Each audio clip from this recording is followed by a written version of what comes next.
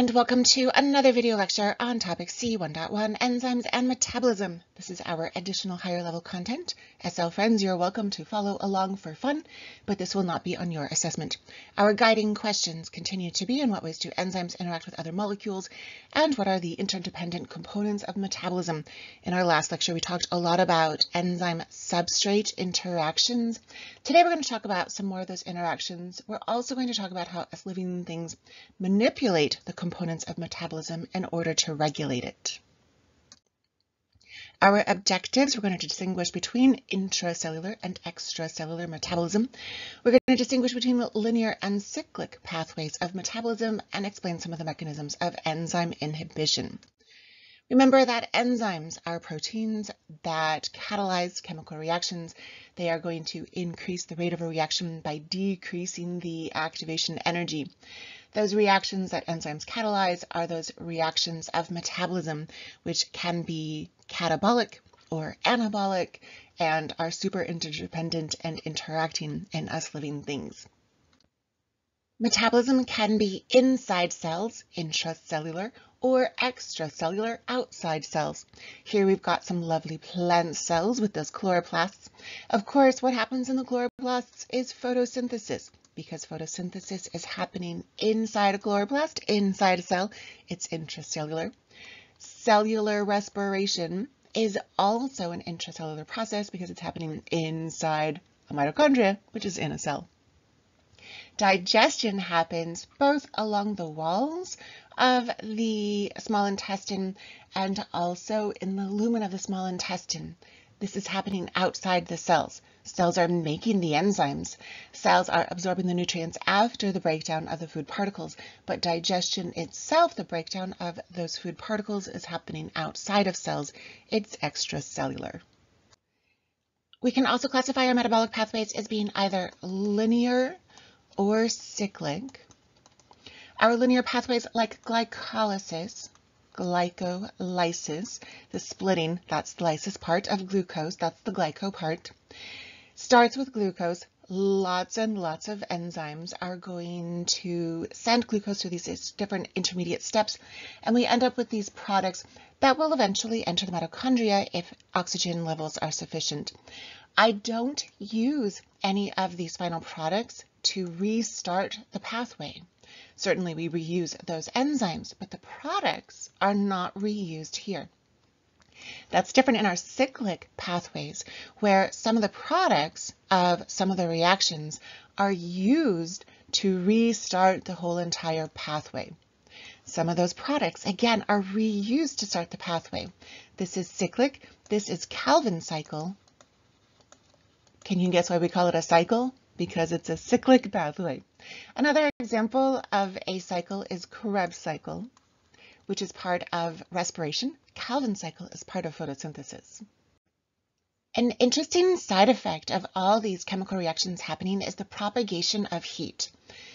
Be careful, don't say that we produce heat energy because we know that energy can neither be created nor destroyed. A better word is propagate. Energy is released during chemical reactions, especially during cellular respiration. And as endotherms, us organisms that maintain an internal body temperature, we actually take advantage of cellular respiration and the heat energy that is propagated as those chemical reactions happen to keep us warm. Kind of cool. No, kind of warm. Remember that we talked in our last lecture about these factors that affect the rates of enzyme activity. We know that pH, there's an optimal pH, and if I deviate from that too much, those extreme pHs are going to denature our proteins, denature those enzymes, and then we lose the shape, that conformation, the structure of the enzyme, which prohibits it from being able to do its job. Temperature, we also have an optimal temperature. An increase in temperature means more collisions, more energetic collisions between the substrates and the enzymes. So we have an increase in the rate of reaction. If I increase the temperature much over the optimal temperature, we have a rapid decrease in the rate because, again, of denaturation. If I'm looking at substrate concentration, clearly if I don't have any substrates, we're not going to have any activity. The more substrate we have, the faster our rate of reaction until our enzymes are saturated, and at that point our rate will plateau. For the rest of this lecture, we're going to look at enzyme inhibition, more ways that we can affect the rate of enzyme activity, just like pH, temperature, substrate concentration can affect the rate of enzyme activity. But here we have purposeful ways that us living things control the rate of enzyme activity and therefore regulate metabolism. The first kind of inhibition we're going to look at is competitive. Here we are literally competing for the active site of the enzyme. Here we have some normal interactions between the enzyme and the substrate. The two combine to make their enzyme substrate complex. The enzyme is going to put some strains on the chemical bonds, reduce the activation energy, so this catabolic reaction can occur. We've got our products here. In inhibition, competitive inhibition, I have some other molecule that is our inhibitor. The shape of the inhibitor is similar to the shape of the substrate. That allows the inhibitor to interact with the active site of the enzyme. And because the inhibitor is sitting there, the substrate cannot. And so the enzyme's activity is going to be reduced because the substrate can't get to the enzyme because this inhibitor is blocking the way. This is reversible the inhibitor does not bind permanently to the enzyme. So as soon as it pops off, the substrate can get in there and the enzyme can continue some action on the substrate. Us humans have actually stolen the idea of competitive inhibitors to make medicine. Statins are medicines that lower blood cholesterol levels. Statins are competitive inhibitors in the metabolic pathways that make cholesterol in our bodies we need cholesterol. We know that it maintains membrane fluidity. And so our liver has this lovely pathway to make cholesterol for us. But sometimes our livers make too much cholesterol. Sometimes we eat too much cholesterol. And then that increase in cholesterol can block blood vessels and lead to heart attacks. This is bad. So people can be prescribed statins. Statins are competitive inhibitors for that pathway that produces cholesterol.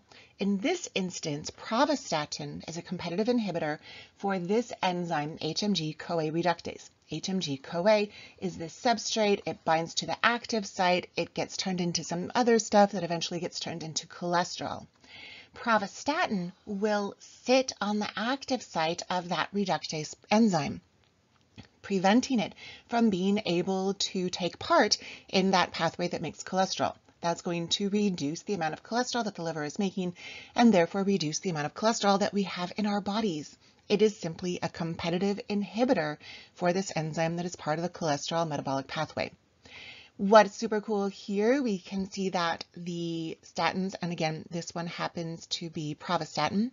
With pravastatin, the incidence of death or non-fatal heart attacks is much lower, maybe not much lower, is a little lower than people who only had the placebo. So that reduction in cholesterol is having a positive impact on the longevity of people taking the medicine. Another type of inhibition is non-competitive. In competitive inhibition, the substrate and the inhibitor compete for the active site of the enzyme. With non-competitive inhibition, we're not competing for the active site. Instead, the inhibitor will bind to some other part, not the active site of the enzyme. That other part is called the allosteric site. I remember it because allo is kind of like there, allá in Spanish, over there. So not here on the active site, but over there, allá on the allosteric site. When the inhibitor binds to the allosteric site, it causes a shape change to the active site. And therefore, the substrate can no longer bind to the active site. They don't have a shape match anymore, and the reaction will be inhibited. This is reversible that inhibitor can pop off the enzyme, the enzyme's shape will go back to normal and the substrate can bind again. Non-competitive inhibition, we are not competing for the active site anymore, but instead binding to the allosteric site, which causes a shape change to the active site, which prevents reactions from happening. This is reversible. The active site can go back to normal when the inhibitor releases from the enzyme. This graph is showing us how substrate concentration affects the rate of enzyme activity. No substrate, no reaction makes sense. The more substrate we have, that increase in substrate concentration is going to lead to an increase in the rate of activity until all of our enzymes are saturated. So this green line is showing us no inhibition. This blue line is showing us with a competitive inhibitor. Notice that the rate is reduced until we get to a very high substrate concentration. Imagine at this very high substrate concentration, maybe we have a thousand pieces of substrate and only two pieces of inhibitor. Statistically, that substrate is going to get to the enzyme way more frequently than that little bit of inhibitor is. So we're not going to have much of a decrease in the rate of reaction simply because that substrate at such a high concentration is going to get to the active site more frequently than does the inhibitor. Our non-competitive inhibitors also decrease the rate of reaction, but because they're binding to the allosteric site, not to the active site of the enzyme, it doesn't matter how much substrate we have, the allosteric site is still free for the non-competitive inhibitor, and so the rate is going to be much decreased us living things will put inhibitors into place to reduce the rate of reaction either a lot or a little, depending on what we need to do to control those metabolic processes. Another way that we can classify inhibition is by feedback. In feedback inhibition, the end product of a metabolic pathway becomes the inhibitor. So here we have our substrate, we've got our enzyme, the substrate enzyme complex is here. In this pathway, we have a couple different intermediates. So this guy will turn into the purple guy. The purple guy will bind to a different enzyme, and then we have the blue guy being produced. The blue guy will bind to yet another enzyme, and then we end up with our end product. If I have lots of end product, there's no reason to waste energy making more end product. And so the end product can actually act as the inhibitor for the whole entire pathway. We will often inhibit the very first enzyme in the pathway because why would we waste energy on this stuff only to block the process over here? This instance, we have our end product acting as a non-competitive inhibitor because it is binding to the allosteric site, not to the active site. Notice we have that lovely shape change of the active site, which prevents the substrate from binding. If this isn't happening, then none of this happens, and then I don't have any more end product. Of course, if we start to run low on that end product, we no longer have this inhibition and the pathway will begin again. The production of the amino acid isoleucine from this other amino acid threonine is an example of a pathway that has feedback inhibition. Isoleucine for us humans is an essential amino acid. That means that we cannot make it. We do not have this pathway. We have to have isoleucine in our diets. Plants and bacteria, however, can take that threonine and turn it into isoleucine and then we eat the plants to get the isoleucine. When we have, when plants and bacteria, because we're not this cool, when plants and bacteria have sufficient levels of isoleucine, there is no reason to waste the energy or the threonine to make more isoleucine. So isoleucine at high levels will bind to the allosteric site of enzyme number one. Remember that the allosteric site means that it is a non-competitive inhibitor that enzyme and the isoleucine bound together will prevent anything from happening in this whole entire pathway. The whole pathway is blocked. However, if we have low levels of isoleucine.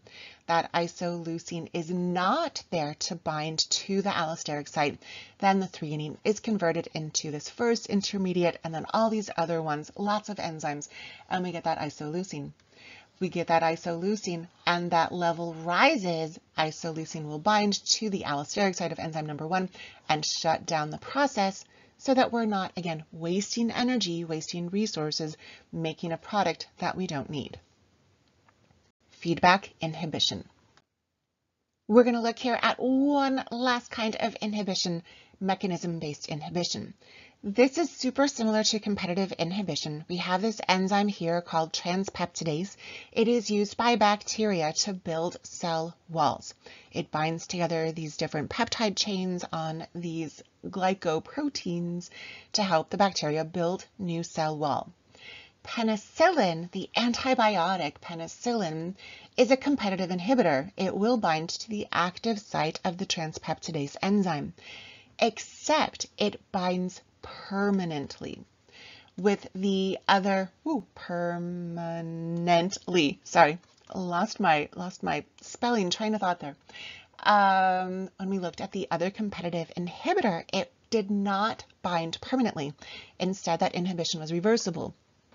The inhibitor can pop off of the enzyme and the enzyme can go back to doing work. This mechanism-based inhibition is permanent. It is forever. That penicillin will be stuck there forever. And so it doesn't matter if we have that increase in substrate concentration, this enzyme is dead. It can no longer act on its substrate ever. And this is how penicillin helps us treat bacterial infections. If we can prevent forever the bacteria from being able to make more cell wall, then the bacteria is going to die. It cannot grow, it cannot make babies, it gives our immune system time to go in there and kill off the bacteria. This is how penicillin works. It is a mechanism-based permanent inhibition. Sadly, well, sadly for us humans, not for the bacteria, good for them, um, there are some bacteria that make an enzyme called penicillinase. If it ends in ase, it's an enzyme. This guy, you probably guessed, acts on penicillin. And this is going to confer antibiotic resistance against penicillin to the bacteria that make it. This is the penicillin molecule. One part of the penicillin molecule is this super cool square ring called the beta-lactam ring. Penicillinase is a example of an enzyme in the family of beta-lactam aces that literally just break that beta-lactam ring. When that ring gets broken, notice over here, no square ring. When that ring, ring is broken, penicillin, which is now penicilloic acid, no longer has the right shape to bind permanently to the active site of that transpeptidase enzyme that we looked at on the previous slide. If penicillin, now penicilloic acid, can no longer permanently bind to the active site of the transpeptidase, transpeptidase can just do its job and make more cell wall for the bacteria, which can live happily ever after infecting us. So that's bad for us. And on that sad, bad note, we have come to the end of our video lecture. We talked about intracellular versus extracellular metabolism, lots of metabolism that happens inside cells. We talked about examples in photosynthesis and respiration. Extracellular digestion happens in our small intestine, but outside of cells. We talked about linear pathways like glycolysis, cyclic pathways where some of the products turn into some of the reactants in that metabolic pathway. And then we talked about lots of ways that we can inhibit our enzymes to better control metabolism. Great work today, my friends.